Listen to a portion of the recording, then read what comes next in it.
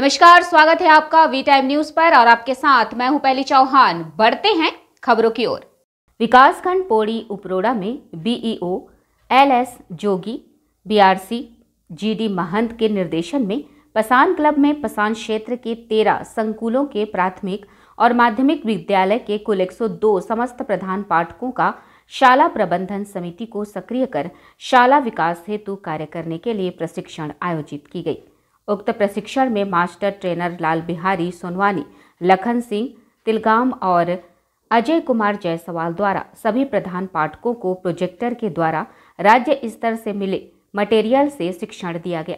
प्रशिक्षण में मुख्य रूप से शाला प्रबंधन समिति की भूमिका, गठन के उद्देश्य कार्य विद्यालय के विभिन्न मद और वित्तीय प्रबंधन, समुदाय व एसएमसी से समन्वय, शैक्षिक गुणवत्ता, विकास आदि पर विस्तार से चर्चा की गई। साथ ही एसएमसी सदस्यों के दायित्व विद्यालय में संचालित विभिन्न शासकीय योजनाओं की जानकारी, नेतृत्व क्षमता विकास, शैक्षणिक परिवर्तन एसएमसी बैठक में आने वाली समस्या के साथ साथ बालक और बालिका को समान अवसर प्रदान करना, बालिका साक्षरता दर को बढ़ाना, बिना भेदभाव के बालक और बालिकाओं के सर्वांगीण विकास पर कार्य करना आदि बिंदुओं पर विस्तार पूर्वक चर्चा कर प्रशिक्षण दिया गया। यहाँ पर सुरक्षा में बातें आती है।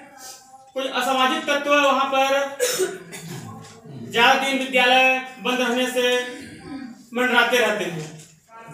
जो कि हमारे विद्यालय को नुकसान पहुंचाते हैं।